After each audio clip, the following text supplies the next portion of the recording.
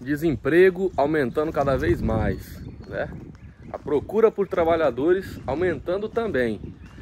É isso que você vai ver nesse vídeo. Então acompanhe ele até o final, que eu vou te dar os detalhes resumidamente de tudo isso que está acontecendo aqui nos Estados Unidos. Você não pode perder. Fica comigo até o final.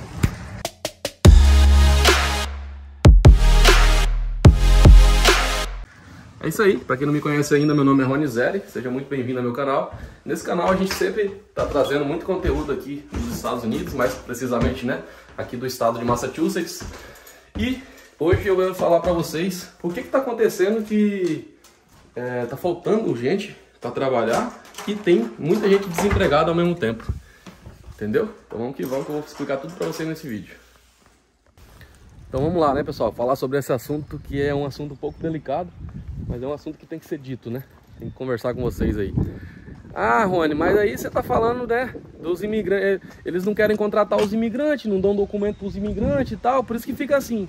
Galera, não é só imigrante que tem que preencher essas vagas, não.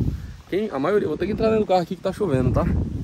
A maioria dos, das pessoas que não querem preencher essas vagas são os próprios americanos, pessoal. Por quê? Porque eles recebem uma ajuda do governo desde o do começo da pandemia até agora estão recebendo. Então, as empresas antigamente pagavam muito pouco né, para os funcionários e as pessoas eram obrigadas a ficar, porque não tinha outra renda, não tinha outro meio de, de levar o sustento para dentro de casa. Hoje eles têm uma renda do governo, por causa da, da pandemia, né?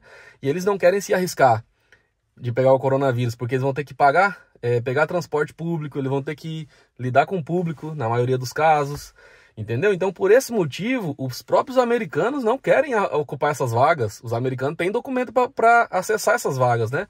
Aí você fala assim, não, mas é, você não explica, pô, que tem que ter o documento. Galera, é óbvio. Quando, quando você vai trabalhar no Brasil, você, tem que, você precisa de quê para trabalhar no Brasil? Você não precisa do documento brasileiro para poder entrar, carteira de trabalho, é, as coisas eh, necessárias para poder acessar o trabalho? A mesma coisa aqui nos Estados Unidos, velho. Você precisa também ter um documento americano chamado Social Security, Social, né, que eles falam aqui, Social Security, que é o CPF, que é onde vai ser deduzido os impostos, essas coisas, entendeu?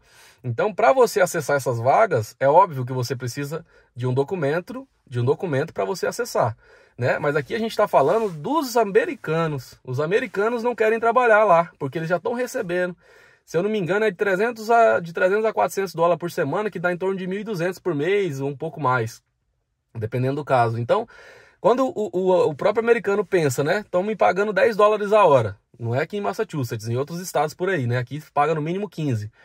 E eu estou recebendo um valor... Você pode repetir o que disse? Desculpe. Aí, a Siri quer participar do vídeo. Então, galera, tem lugar que paga 10 dólares, 8 dólares a hora. Quando você vai colocar isso na, na balança, né? Vale muito mais a pena você ficar de boa em casa ganhando o dinheiro do governo aí. Entendeu? Então, pro, pro empresário tirar esse americano, essa, essa pessoa que tem documento de casa, para colocar para trabalhar, eles estão tendo que subir o nível. Você entendeu? Tem lugar que estão pagando mil dólares de bônus só para você entrar. Já pensou você entrar e ganhar mil dólares só porque você aceitou trabalhar na empresa? Entendeu? Aí o salário de 10 dólares eles estão subindo para 15. Para poder a pessoa ficar no trabalho. Senão a pessoa não fica. Entendeu? Então é por isso que o índice de desemprego aqui está grande. Você pensa que o índice de desemprego aqui não é, é bem parecido com o do Brasil. Se eu não me engano aí, pela consulta que eu fiz aqui, uns 9 milhões de desempregados. Você entendeu? E tem muita vaga de emprego, mas eles vão trabalhar como? Eles já sabem que eles ganham uma grana para ficar dentro de casa. Você entendeu? E pensa comigo, com a pandemia, as crianças tiveram que ficar em casa. Como que você vai pagar uma babá e tudo para poder é, você ir trabalhar. Às vezes o molho sai mais caro do que o peixe. Entendeu? Então é esse o detalhe que os americanos estão é, ficando mais em casa e deixando quieto esse negócio de trabalhar por enquanto. Entendeu? E eu acho, né? E muita gente também acha que o governo pecou nessa parte, de estar tá dando tanto, tanta grana. Porque aí é igual como se fosse assim. Eu não, eu não, eu não vou falar que é a, a, realidade do Brasil, porque hoje mudou bastante. Parece que aumentou também o, o Bolsa Família, mas é, teve uma época no, no, Brasil que quem tinha Bolsa Família não estava querendo trabalhar no, nos empregos normais, porque se trabalhasse, perdia o Bolsa Família, mas parece que agora não perde. Mesmo que você consiga um trabalho, você continua com o Bolsa Família. Então o que, que acontece? Isso ajudou a, a economia do Brasil a, a, pegar essa galera que estava ficando dentro de casa o tempo todo, porque se trabalhasse perdia o benefício. Ajudou porque essa galera tá saindo para trabalhar, porque ela tá ganhando o benefício mais o trabalho. Se eu não me engano, é assim que tá acontecendo no Brasil agora. Né? E esse Bolsa Família que agora também mudou, parece que é outro nome. Eu não sei direito, se vocês souberem, comenta aqui embaixo. E se você também não é inscrito ainda nesse canal, já se inscreve, porque aqui tem muito conteúdo a respeito dos Estados Unidos e isso pode te ajudar bastante. Mesmo que você não pretende, não pretenda morar aqui nos Estados Unidos, mas pelo menos para você entender o que, que acontece fora do Brasil, né?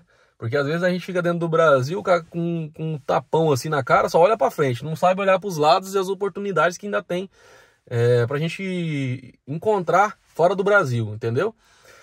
E aí, galera, o que que acontece? Essa galera tá ficando dentro de casa, porque ela fala, velho, se eu for sair para fazer tudo isso, eu vou gastar muito. E vou perder meu benefício. Então é melhor, né, eu ficar aqui recebendo meu benefício de boa e quando acabar meu benefício, aí sim é o momento certo de correr atrás de um trabalho. Você entendeu?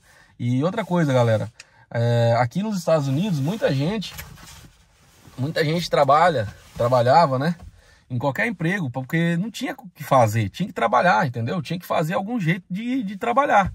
E aí, é, os empregadores, eles tratavam mal, eles pagavam quando queria, entendeu? Ficava jogado, é, não dava as horas certas para a pessoa trabalhar. Hoje mudou tudo isso. Se você é um trabalhador que vai trabalhar direitinho, eles te valorizam, porque eles não querem te perder. Porque eles sabem que se te perder, outra pessoa vai te pegar e vai te valorizar. Porque tá complicado hoje aqui, mesmo pro próprio imigrante. Ah, Rony, mas e aí? E os imigrantes? Trabalham onde? Cara, tem tanto jeito de você trabalhar, tanta coisa para você trabalhar aqui, que você não tem noção, entendeu? E outra coisa, se você né, for pagar seus impostos certinho, existe também outro documento chamado IT Number, que é um documento do, do, do, do, imigrante, entendeu? O cara veio pelo México, ele atravessou a fronteira, não se entregou, não fez nada disso, ninguém sabe que ele está aqui dentro dos Estados Unidos. Ele pode abrir um IT Number, né, no, no escritório de contabilidade. Esse número vai ser como se fosse o social, só que não serve para as coisas que o social serve. Entendeu? Para tudo, né? Serve para muita coisa, mas não para tudo. Mas uma coisa importante desse documento é o imposto que você vai pagando e o governo quer saber de quem está pagando imposto, né? Quem é que paga direitinho, quem é que está dentro das leis, das regras aí. Entendeu? Então essa pessoa que entrou assim desse jeito e não está sendo é um indigente aqui dentro dessa terra aqui, esse cara ele pode ter um, uma conta no banco, ele pode comprar um carro, ele pode fazer uma carteira de motorista em alguns estados, que depois eu vou fazer um vídeo para vocês falando um pouquinho de cada estado que pode ser feita a carteira para indocumentado. Entendeu? Então não pense você que você vai chegar aqui, ah, não tem social, igual algumas pessoas mandam lá no meu Instagram. Inclusive, se você não me segue no Instagram ainda, eu sempre deixo na descrição do vídeo aqui. Me segue lá que tem a, é, notícias, atualizações várias coisas assim do meu dia a dia também, você consegue acompanhar mais de perto, né? Você seguindo lá. Aí chegam uns, uns espertões, uns, uns inteligentões, fala assim, você não explica, igual eu falei no começo do vídeo, né? Você não explica e tal, não sei o quê. E você tá explicando para essas pessoas? Ou você só tá querendo lacrar nos comentários? Entendeu? Larga de ser lacrador que eu crio um canal para você e dá o caminho então. Você entendeu? Todos os vídeos meus eu abro o olho da galera em algum, em algum, em algum aspecto. Todo, todo vídeo. Porque, galera, antigamente não existia ninguém fazendo conteúdo aqui nos Estados Unidos, entendeu? E o pessoal vinha 20, 20 anos, 30 anos atrás, o pessoal vinha na cega, entendeu? O cara era roceiro, trabalhava na roça, não tenho nada contra isso, inclusive minha família toda foi criada na roça, eu morei no sítio também, entendeu? Mas o que, eu, o que eu quero dizer com isso é o seguinte, a pessoa não tinha estudo, não tinha nada, a única coisa que ela tinha era determinação e força de vontade para ir para cima fazer acontecer. Essa galera vinha para cá para os Estados Unidos sem cego. Chegava aqui não tinha GPS, não existia GPS, se quisesse acessar mapa tinha que olhar no mapa literalmente para você saber onde que você estava indo, entendeu? O celular não tinha WhatsApp, não tinha mensagem, era só ligação, aquele celularzinho bem simplesinho, muito caro por sinal.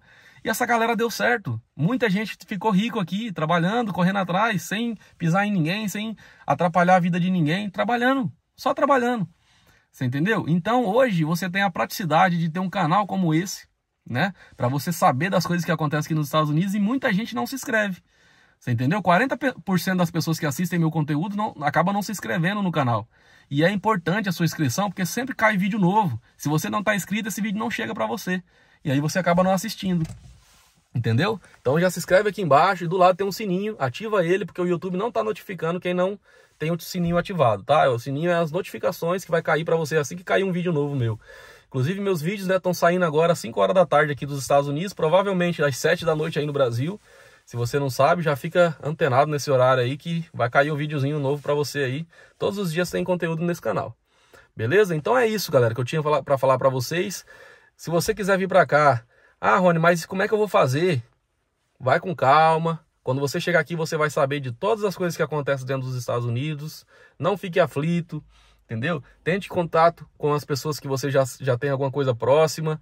Se alguém te ajudar aqui no começo para você ir para casa dessa pessoa, vá para casa dela. Fique lá uns dois, três meses. Depois que você estiver respirando, você saia. Não fique muito tempo, porque acaba dando ruim. Você vai acabar estragando sua amizade com essa pessoa, entendeu? Não é bom. Caça seu rumo, faz o seu pé de meia, entendeu? Coloca um objetivo na sua vida.